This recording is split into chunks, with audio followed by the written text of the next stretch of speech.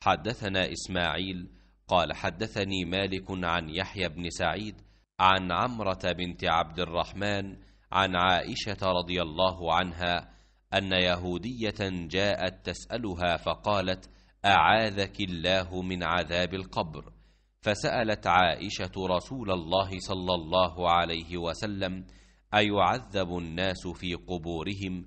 فقال رسول الله صلى الله عليه وسلم عائذا بالله من ذلك.